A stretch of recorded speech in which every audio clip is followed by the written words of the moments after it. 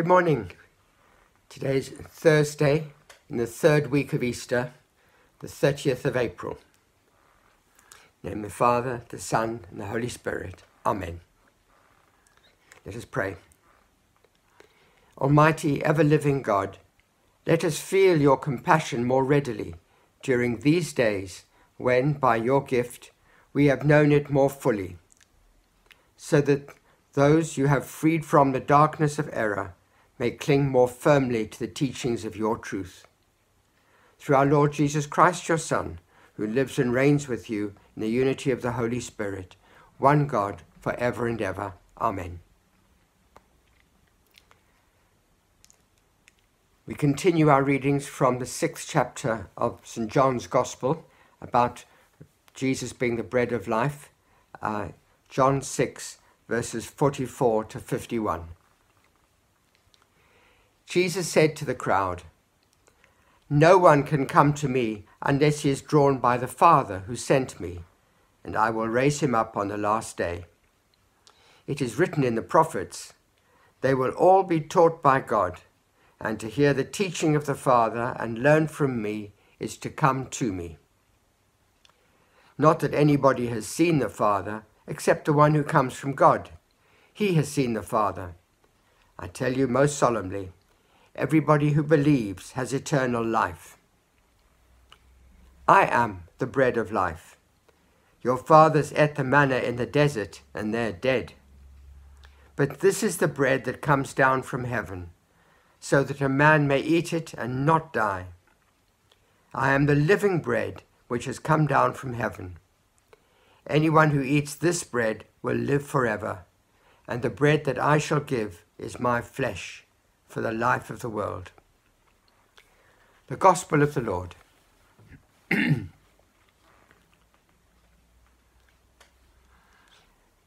people listening to Jesus, and he was speaking to them in their language, in his language, probably Aramaic, would have heard very definite connotations in the language that Jesus used.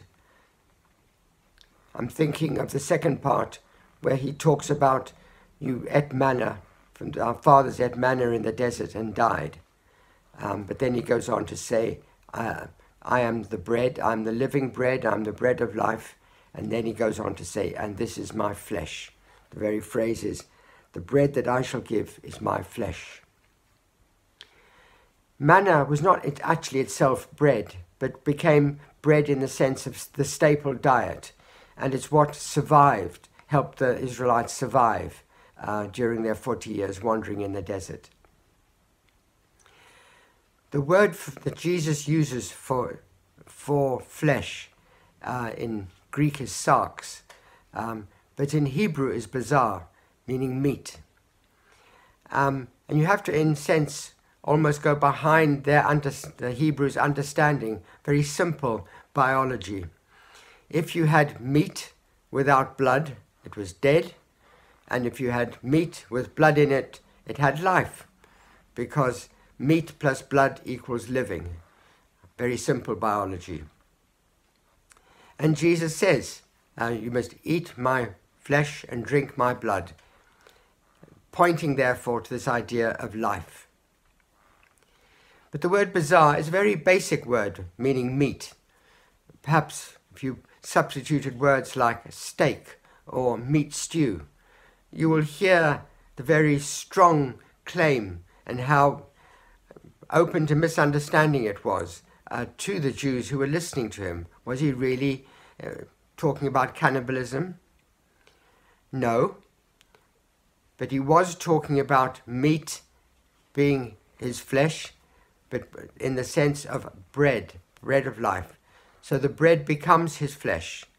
And that's why this whole passage, chapter 6, is all about the inauguration of the Eucharist. That Jesus gives out the bread and says, This is my body, this is my flesh, this is me, and I give you life, because my body and my blood, in the form of bread and wine, which becomes my body and blood, gives you eternal life. The disciples, we will see today and in the future readings, struggle with this and many leave at this point. They find they can't accept the teaching. that they have to eat the bread and wine, the body and blood of Jesus, to find eternal life. But Peter comes in, we'll see this in tomorrow's reading, and says, I believe. So between today and tomorrow, it's a time for reflection, our belief in the Eucharist. But the bottom line for us is that Jesus is the giver of life. And he gives us life because it's the will of his Father who made us, our Creator, to give us life. And he talks about that only he can reveal the Father and the Father's love for us. So we go away from today's gospel pondering the love of God for us, the love that God has given us his Son, and that we participate in the very life of the Trinity by our Eucharistic uh, sharing, that by eating his flesh and blood, bread and wine of the Eucharist, we receive ourselves eternal life. We turn now to our bidding prayers. The response for our bidding prayers is, Lord, stay always with us. Lord, stay always with us. Let us offer our prayer to Christ, who rose from the dead and is living always in his church. Lord, stay always with us. Lord, you triumphed over sin and death. Be present in our midst with your eternal life. Lord, stay always with us. Come to us with your untiring strength and reveal in our lives the loving kindness of God. Lord, stay always with us.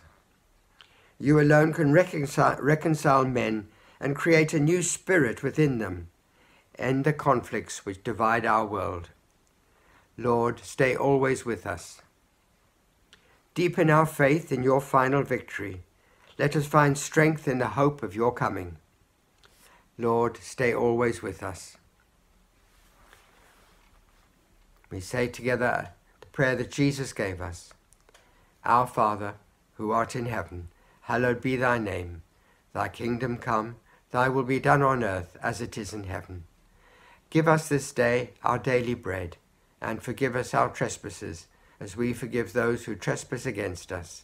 And lead us not into temptation, but deliver us from evil. Amen. We pray. Almighty, ever living God, make our hearts more open to your love in these days of Eastertide, when you have made known to us the depth of that love. You have rescued us from the darkness of error.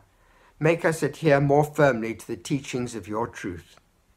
Through our Lord Jesus Christ, your Son, who lives and reigns with you in the unity of the Holy Spirit, one God, for ever and ever. Amen. The Lord be with you and with your spirit. Almighty God bless us, the Father, the Son, and the Holy Spirit. Amen. Bye. Have a good day.